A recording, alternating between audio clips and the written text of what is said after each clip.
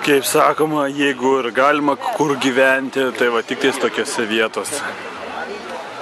Sėdėm ant Montijuiko kalno Barcelonoje. Aukščiausio taško, aišku, oras, kad šiandien tai toksai Barsoje. Kaip Barcelonai, tai čia yra turbūt tragedija. Bet šiaip mums tai žiauri faina, nors pagaliau nekepina pasaulį. Bet pažiūrėkit, tokia miesto panorama, apačioj, baseinas. Į tą baseiną įėjimas kainuoja 5 eurų ir gali būti visą dieną. Vienas baseinas, antras baseinas su tramplinais. O, žiūrėkit, žmonės deginasi, guli savo.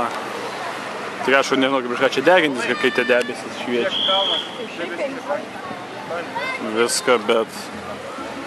Bet vaizdas, žiūrėkit, vaikai kaip duodasi. Duodi vaikui 5 eurus ir visą dieną savo baseinę.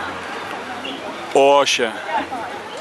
O, čia miestas ir panorama, graži viską. Eik, matai, čia nerealu yra. Va, Sagrada tolimų tolumoj. Statoma visą gyvenimą ir turbūt niekada taip ir nebus pastatyta. Viską kalnai ir apylinkės.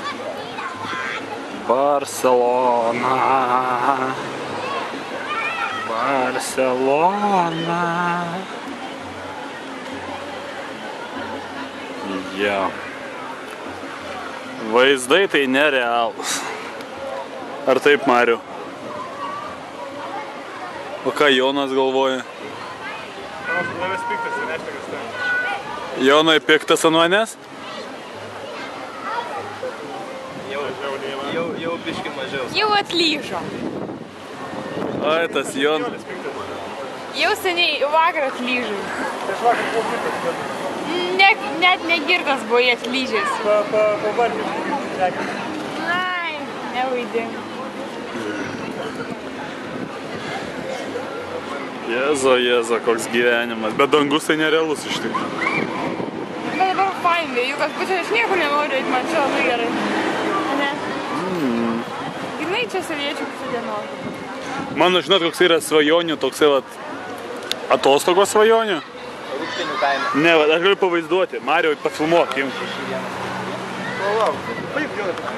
Ne, ne, Mario, tu pavagyk. Čia dabar įjungtą filmuoja, aš parodysiu, kaip, kaip aš noriu leisti atostogas. Sėdė taip pat, kojas išvertina. Viską taip. Taip. Va, Ištvirkęs padaras. storas keulė. Va čia tai yra Nijolė, žemiau, žemiau, Nijolė. Ką čia darai? Juodėm davė, Nijolė neduoda. Prašau. Čia išsikrapstyk biškai gal kontoros. Šienas, kad šis šinė. Tokiu. Čia bus.